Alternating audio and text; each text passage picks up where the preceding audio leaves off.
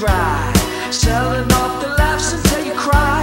Put on the brakes, for heaven's sakes.